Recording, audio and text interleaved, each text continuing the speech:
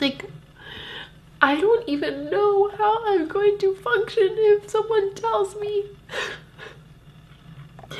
that I can't bring up Huxley. Like, this isn't just a kid in China. This is my son. Like, this is my son. Like, I have already birthed him in my heart. He is my son.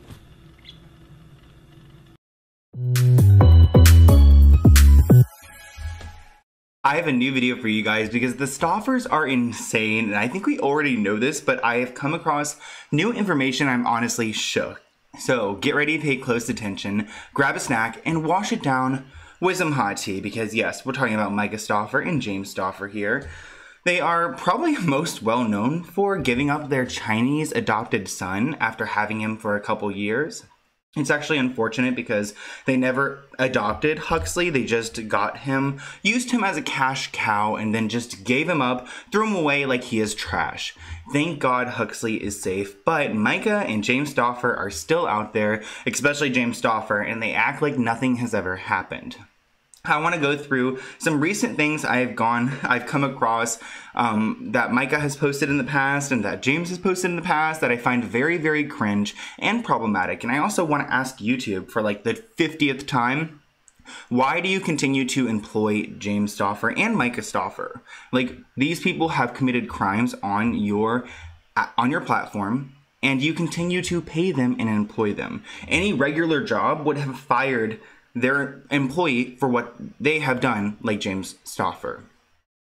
Um, first off, I just want to go ahead and talk about um, their video they dropped. You know, it was in May and it was about Huxley and how they gave him up. It was a monetized video, as you can see an arrow on the corner. There's a little ad there. And they made, they got a ton of views and made a ton of money off of this video talking about giving up their adopted son, which is kind of a sad and embarrassing thing, but they almost felt like victims in the video, and I think that's why people were so upset by the whole situation. Myka Stauffer has a channel that is just under 700,000 subscribers. She lost a lot of subscribers after the whole like incident, and she actually makes zero dollars on YouTube, which is amazing. So I'm glad that they aren't paying her at least for what she's done because this woman is actually like the most insane person I've seen on YouTube. I'm talking like the type of person who creates a whole fundraiser thing so that her subscribers can pay for her Chinese adopted son and pay for her to go there and get him. Then she goes over there and gets him on her YouTuber subs money on their cash. She brings him back to the States. She sets up a whole company, um, you know, uses him as promo and promotional videos, makes a ton of content after, you know, about him. But before she like showed his face to her subscribers and did a face reveal which again is kind of weird to me like okay all these people donated a ton of money so you could buy your son and you're like teasing a face uh, face reveal. What she did what she decided to do was to have more people spend more money to pay for that face reveal she literally had her subscribers and donors donate to a like puzzle picture website where every person could donate some money it would go to a puzzle piece and the puzzle piece would put together the picture of their son it sounds really hipster and you know um, aesthetic but it's really cringe to think about every single instance of Huxley's life with the Stauffer family was revolved around money or making money. Like they never thought about Huxley and money in a separate instance. It was always like, how can we use this man to make more money? Watch just how just cringe this clip is and think about how you would feel being her adopted son. The first thing I want to fill you in on is we are doing a little fundraiser for little Huxley. It's done.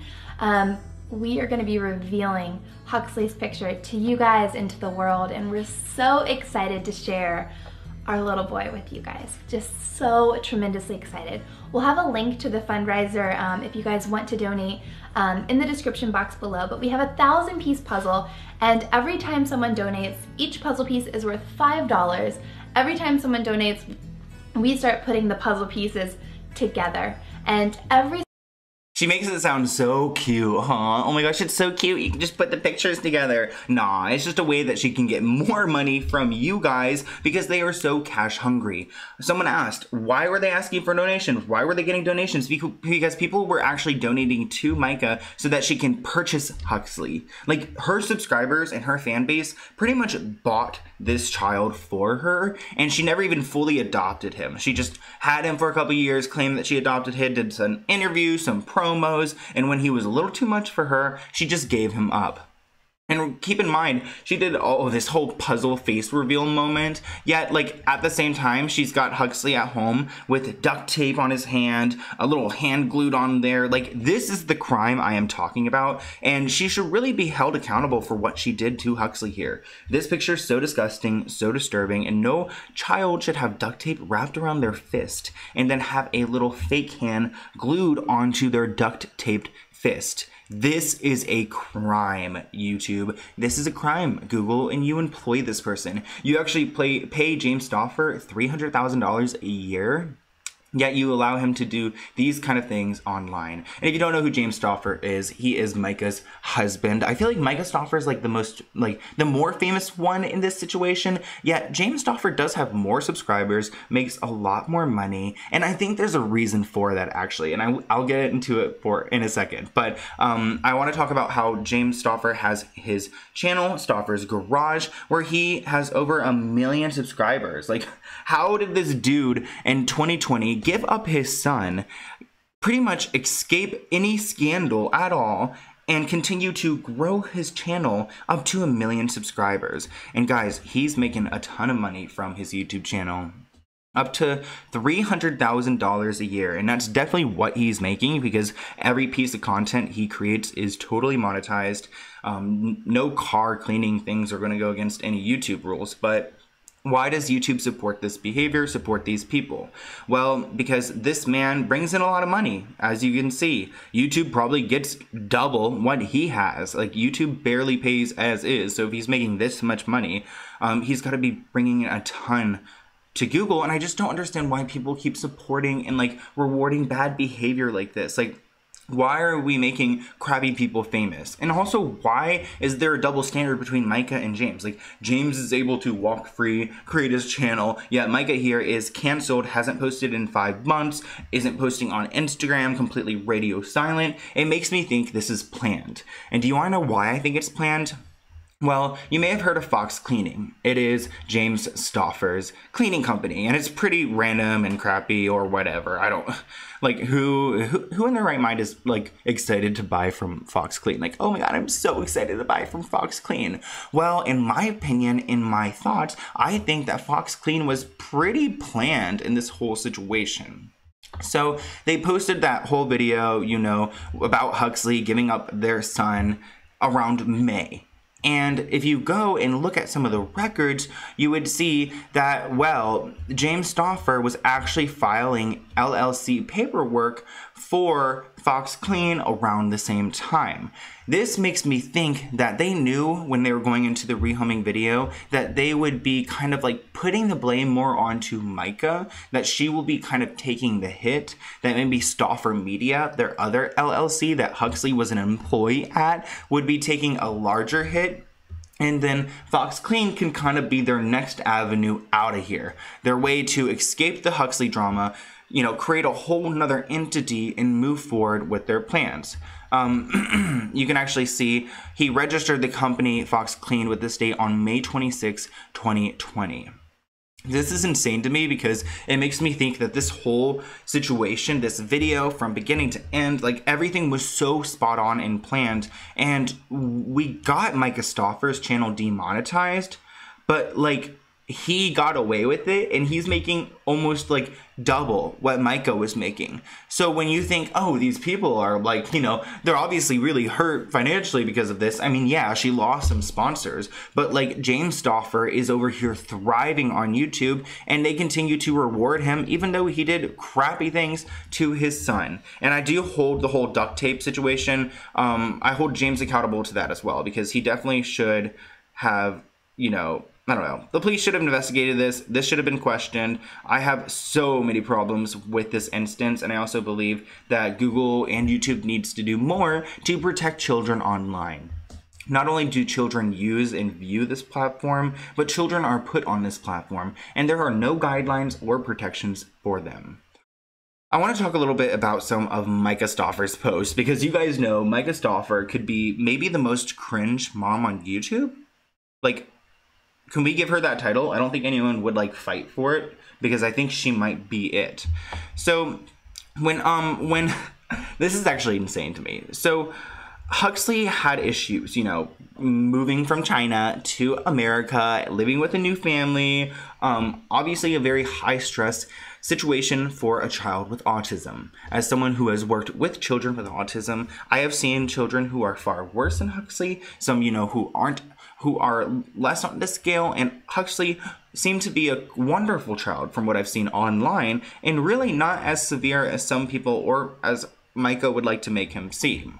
So, one thing she posted on this Chinese adoption questions page was that Huxley had issues with hoarding food and um, he doesn't like to talk a lot. He, you know, has he does a lot of things with his thumbs. Um, he's hoarding the food, and they're asking him, why is he doing this? Like, how can we help? And I just think, um, I don't know.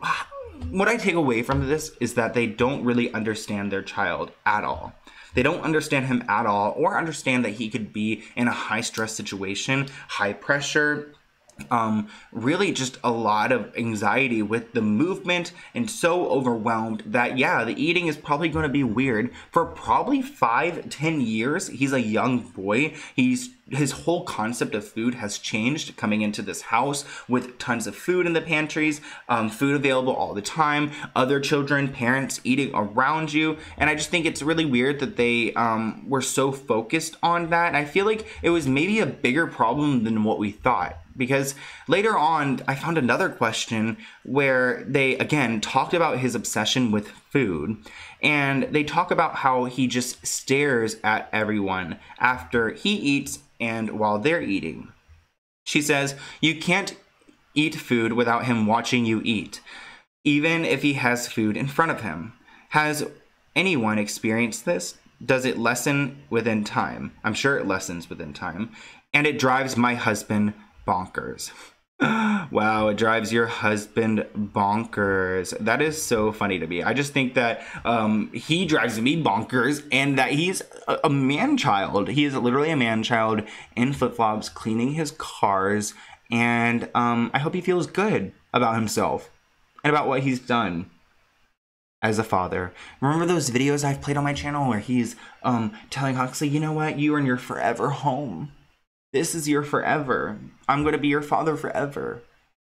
After seeing those videos and knowing what he did, I can never take this man seriously and I can never support his activity on YouTube. Nor do I believe that YouTube or Google should be paying him. Like this dude just YouTube. Like, so if you're a YouTuber, you get paid once a month uh, at the end of the month, and this dude just got paid thirty thousand dollars from YouTube and he has committed crimes on this platform throughout this year. So please tell me, like, we need an HR department or something because something is up here. And thank you, Jessica, for your donation. I really appreciate that.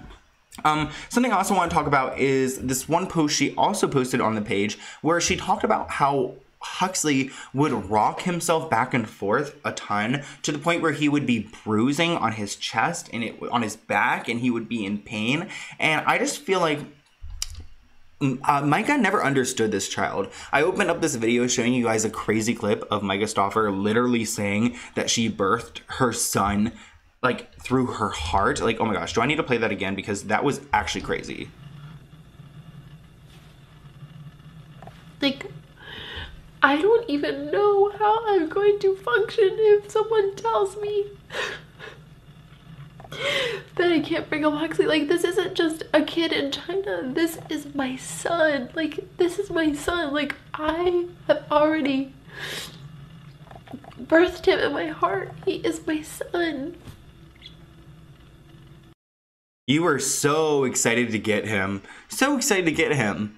But then you know gave him away like that. It just doesn't really add up to me and i just feel like she never really understood him at all or even gave the, him the time to understand him. Everything that myka does is about myka. It's selfish. It's about her world. Like we are literally and me, myself, I am just a human living in Myka's world because she does believe that everything revolves around her and her child having anxiety, physically hurting himself because of the stress is, um, well, her first reaction is to go to Facebook and write a question like this. It just makes me think that this woman never put any time or energy into actually investing in his care, especially when it came to his treatment. She would talk on camera saying, yo, yeah, the doctor thinks that he should be having an iPad and he would be able to communicate easier with that, but you know what? We want to do sign language. We want to teach him sign language. Well, your son understands Chinese. You understand no Chinese. Um, you want to teach him what? American Sign Language? Like, can we please take a, a step back? I feel like y- if you're going to go and adopt a child, you need to understand what you're getting yourself into. Myka obviously has no idea what she's doing or even like I don't understand how she has so many kids. Like, how are you a mother to other children? I'm actually worried about these other kids because she was going to adopt again, another round two of adopting. Like, we are talking about starting adoption round two next month. How did you know you were ready for round two? My God, I don't know if you were actually ever ready for round two or round one. Like, how are you going to go adopt another child again?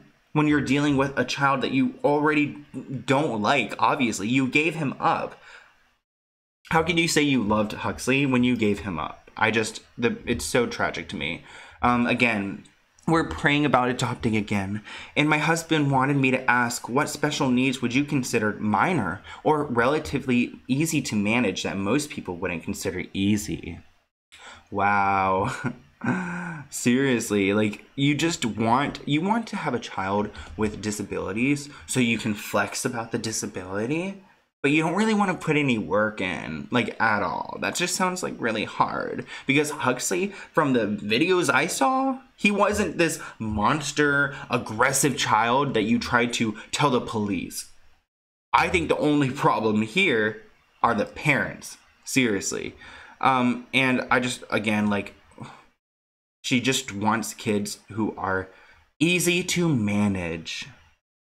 Literally, in quotes, anything surgically correctable or easy to manage day to day. She wants to get a broken child and then fix him for a video. She wants to adopt a child with issues and then manage the each manage it each day, day to day, and make it seem easy or cool or whatever. Like it's literally content fishing. She is fishing in for the content, trying to figure out what it's going to be next. Like whether she can find a kid that she can, you know, do a, a, fundraiser and, you know, pay for a surgery. And after those videos are done, I don't know, do you just give back the kid to the orphanage? It's just so heartless to me. And it reminds me how um, precious adopted people are and how adoption is such an amazing um, tool and it should be very very monitored and taken more seriously because as someone who is gay i will probably be adopting one day. As someone who has two best friends who are adopted i understand what it's like to be from an adoptive home and to hear their struggles and understand how they feel especially when it comes to this huxley situation they agree with me that these people are actually insane. And to think that they can use their Chinese adopted son to create content and clout and gain popularity is foul. It is foul, Myka. And I know that James Stauffer is all up here on this platform trying to clean cars and, you know, push you guys through because he is. I mean, he's making $300,000 a year. So obviously he's doing really well. But you aren't coming you aren't coming back. My goal now moving forward after we know you know huxley is safe. We've already confirmed that. He is totally fine. I know who his mother is. I've gone to her facebook. I've looked through her pictures. I've seen pictures of her kids with his kids. And not trying to be a creeper or a stalker or anything but you know a friend sent it to me. I looked at it. I confirmed what was going on. And he's totally safe. He's totally fine. I'm good with that. My issue now is that James Stauffer is out here making $300,000 on YouTube when he was literally duct taping his son's hand within the last year or so. On the platform, and he's also done other things that are really sketchy. He's also purchasing uh, views on his channel. He's his wife is buying subscribers. Like these people are breaking YouTube rules, yet YouTube just doesn't want to hold them accountable because they want to collect that money. At the end of the day, the money is the root of evil. It's what took Huxley from his home in China, brought him here, worked him for a couple years like a child labor star, and you know, caused so much turmoil in his life. This kid has been through so many different homes. I can't imagine just sleeping with myself at night knowing that I've done I've done this to this child. But you know what? Myka is sleeping perfectly fine, probably in her California king bed that Huxley paid for. Huxley's time, energy, and presence paid for. And his storyline. Without his storyline, Myka Stauffer just wouldn't be that interesting. She used him so much, and that's why she is gone. But we need that same energy for James. We seriously do. But I hope you guys enjoyed this video. I'm going to hold James Stauffer accountable and I'm going to call out Myka. If you have any clips you want me to react to, link them below or send me an email at sloanwellknown at gmail.com. I've also got a lot of content coming this week, so if you have any ideas for me, comment below and subscribe to my channel. Thank you guys so much. I think I hit 75,000 subscribers today. So thank you guys so much for the love and thank you for like hanging in there with me and we're going to continue to call out these toxic people, protect our children, and make the world a better place because YouTube's not going to do it for us. I hope you guys enjoyed and make sure you have a safe night and I'll see you guys again here soon. Bye. Ooh, bye.